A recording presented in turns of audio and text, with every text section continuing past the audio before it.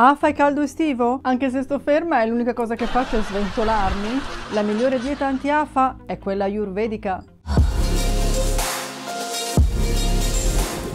La Ayurveda propone una dieta anticaldo efficace e molto speciale. Secondo la Ayurveda, la medicina indiana, esistono cibi che rinfrescano il corpo, da preferire, e altri che lo riscaldano, da evitare. La dieta ayurvedica prevede cibi e bevande che non aumentano il calore, cioè l'elemento fuoco, nel corpo. Ma come faccio a sapere quali sono?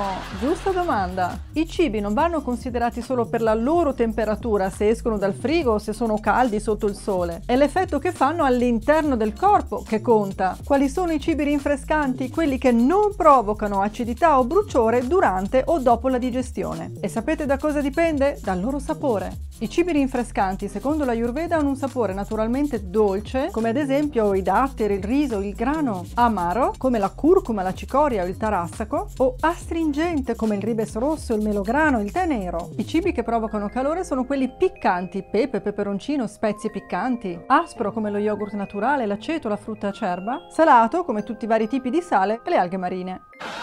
Per questo è meglio evitarli quando fa caldo. Per un intermezzo estivo invece di patatine o snack salati, meglio della frutta dolce come l'anguria o il melone. Grazie alla Ayurveda da adesso saprete sempre cosa mangiare per contrastare il caldo. E perché in estate è meglio la frutta dolce dello snack salato. Ma funzionerà davvero? Sì, da oltre 2000 anni. Provare per credere. Se ami la salute naturale, metti mi piace e condividi questo video trendy e sano naturalmente. Ciao!